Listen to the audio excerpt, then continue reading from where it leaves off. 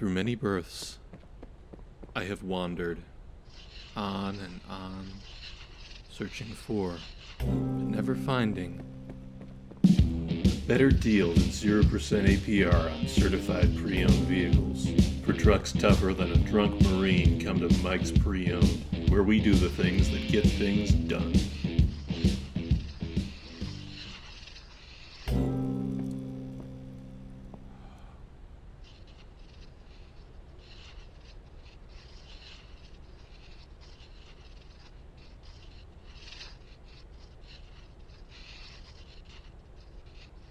Beep.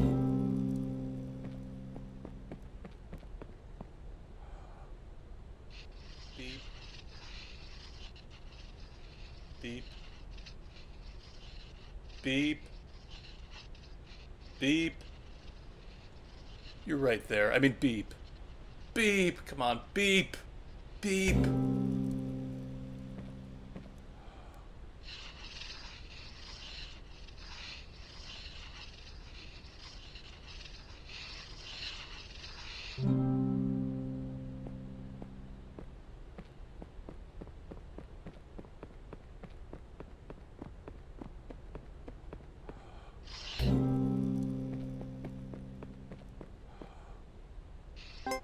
Kubla Khan received an ornate letter signed by Marco Polo. In Madrid, city of lost things, no item remains where it was set. If one drops his key in the dirt, he may never re enter his home, and even if he manages to stoop and recover the key, he may rise to find a tulip garden where his house once stood. In complementary fashion, things lost by others are forever turning up. A pocket watch on a coffee table, a fond memory in your recollection. I even know of a prince who turned up in a prison cell. When he appealed to the guards for his release, he failed to find the crown on his head, and when he was asked his name, he searched his thoughts, but could not find it.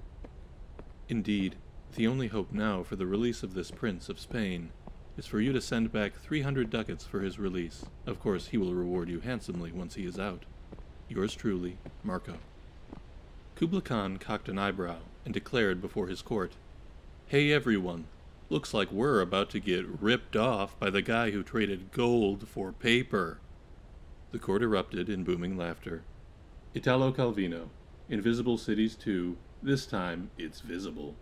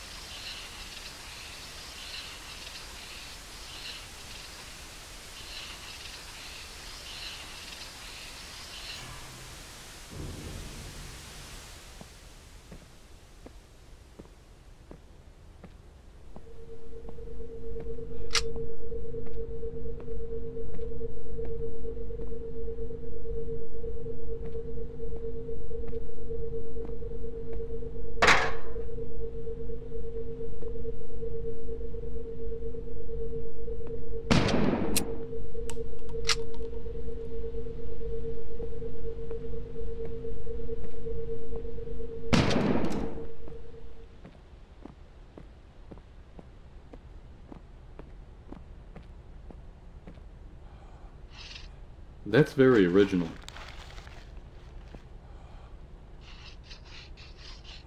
No, try putting some more loops on it. It just needs more red, I think.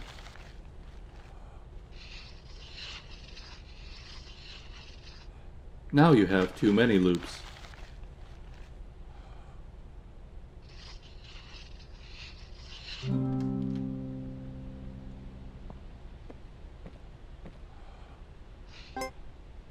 Imagine gravity is fractal, because light is just a wave and gravity is just a wave. So imagine there's a big piece of glass that splits up gravity like a prism, so that there's like blue gravity and yellow gravity. And then somebody gets hit by the red gravity, and it makes them super heavy, so they have super strength, but like they're also really slow. And another guy gets hit by microwave gravity, so he's trying to zap everybody, and just when he's about to zap the main guy, we see a lady come out, and she turns out to be Ultraviolet Girl, and she has super speed so she beats him. And it, like, also gave her giant cans. Thomas Pynchon, Gravity's Rainbow. You can only get good at chess if you love the game. Grandmaster Bobby Fischer. I hate chess. I hate chess. I hate chess. World Champion Bobby Fischer.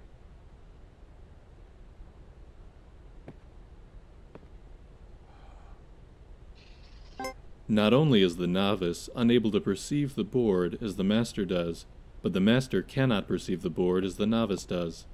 A master cannot see the bishop on e3 as a chunk of dead wood, any more than you can look at your best friend's face and see a meaningless matrix of colors and shapes. The master once saw the board like this, but now there is no going back. International Master Stuart Rachels, The Reviled Art.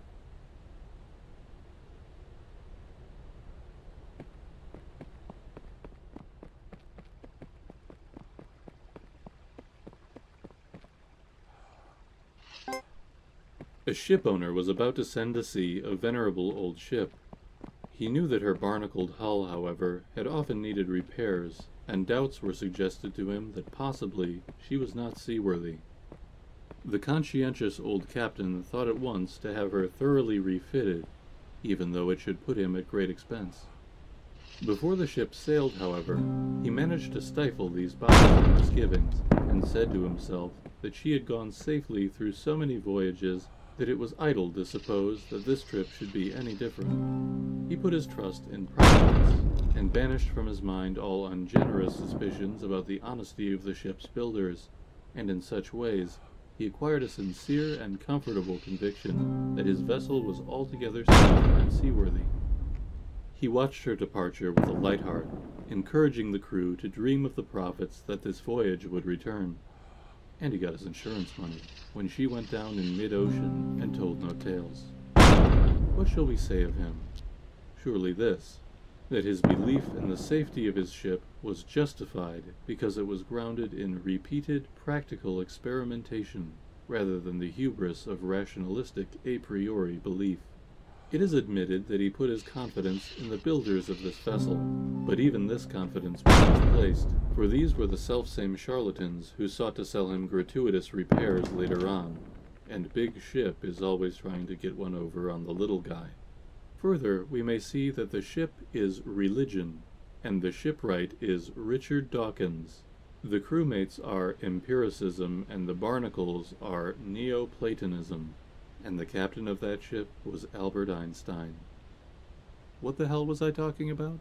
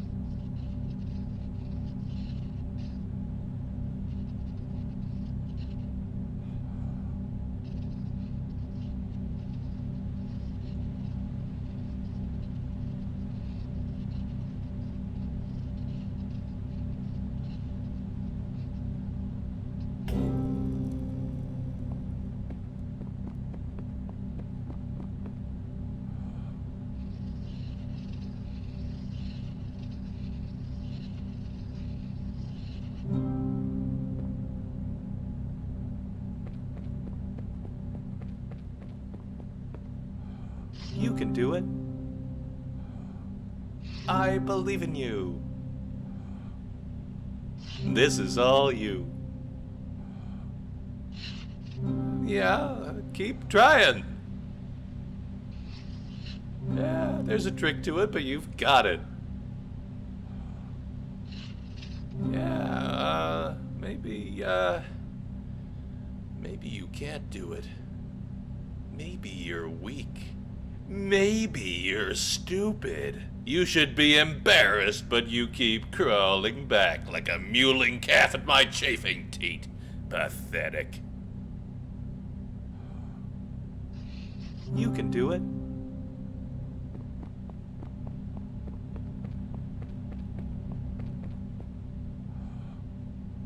Go on, get.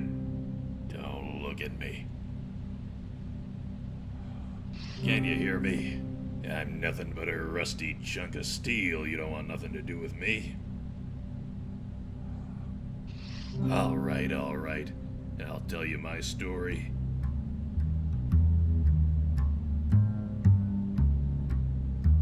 It was June the 8th, 1947, gray morning, slightly foggy. I had my own practice then, and I was living higher than a cosmonaut on a stepladder. My hints were subtle too, real subtle. Back then, they said good old hint button. His hints could steal the tail off a weasel. Then they tossed me in the can. Know what, know why, know how. Those were the mean times when all the common sense in the world won't make a nickel to buy you a black coffee. I used rope to tie my pants and pants to tie my shoes. I may do the way a man does, till one day, after stealing the socks off a fireplace, I caught my own look in a puddle of bootleg rye and realized I had to do what I'd never done before. I gave myself a hint. So that's me. I was nothing but a downtown crumb who dreamed of being a whole sandwich. Now I'm just another sloppy Joe. Come back when you got something. Come back when you got a good one. I'll tell you this. When life hauls off and hits me square in the speaker, I don't get mad and I don't give up. Over many nights of thinking hard and drinking hard, up till the morning lighting one cup of Joe with the smoldering butt of the last slug of rum. This is what I learned. When you're up against the impossible, and there's no getting through it, you might just have to go around it. Get a look at the back of the box, if you get me. Read the nutrition facts, even you follow. This castle's rotten, from start to end. Red is the color of passion, kid. And you don't let passions mix. Like the curves on the waist of a first class dame and the curves on a bathtub of second class hooch. If you let two of those curves touch, kid, then God's gotta help you, cause I'll be counting teeth in the trunk of a Chrysler. Just keep on practicing. Remember, kid, practice is doing the same thing over and over and expecting different results. That's coming from Einstein, too, so listen sharp. Come back when you got a good one. I'll tell you this. When life hauls off and hits me square in the speaker, I don't get mad and I don't give up. Over many nights of thinking hard and drinking hard, up till the morning lighting one cup of Joe with the smoldering butt of the last slug of rum. This is what I learned. When you're up against the impossible, and there's no getting through it, you might just have to go around it. Get a look at the back of the box, if you get me. Read the nutrition facts, even you follow.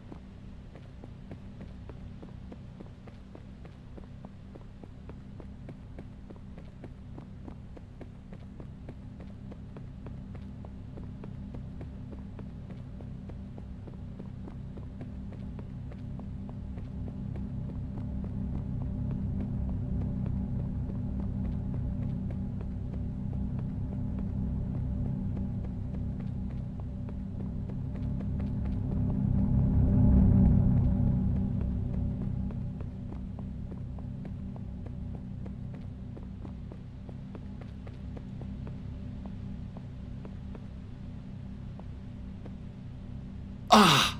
Ah! Oh, God! Ah! Why did I do that? Oh.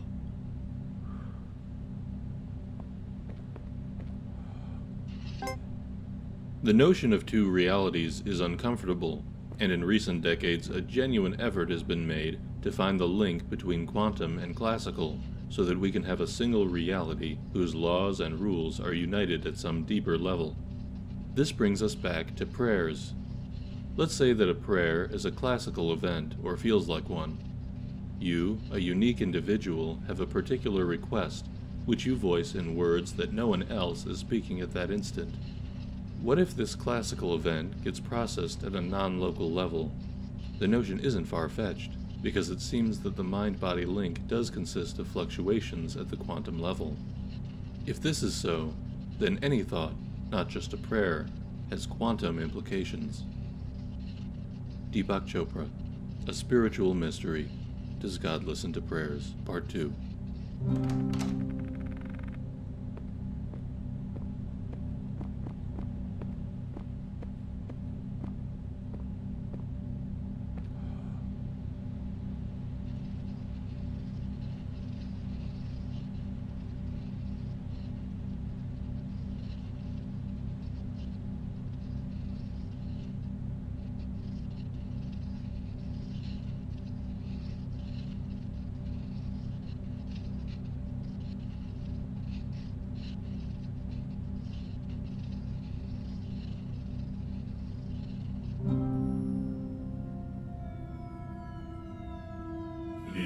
The obelisk of knowledge. Of knowledge. The obelisk of knowledge.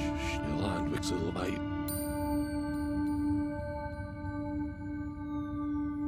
The stones. What's the Of reflection. stones of reflection? Oh wait, it's a giant cow.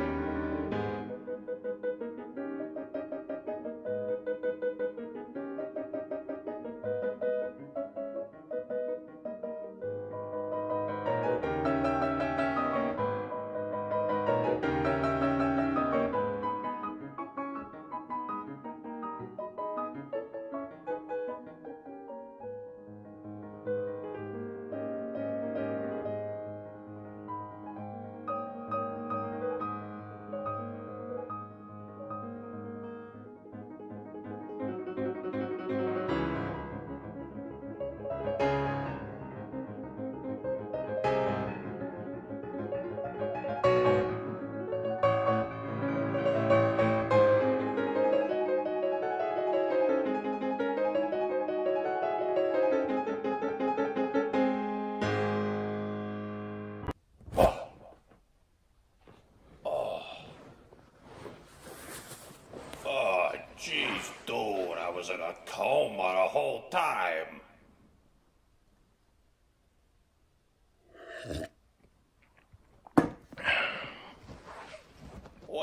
Did this has got to be some kind of whiz with the computers.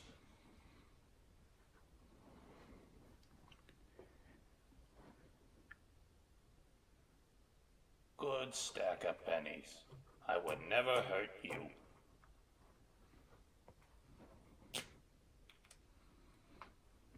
Let's see. Easy one.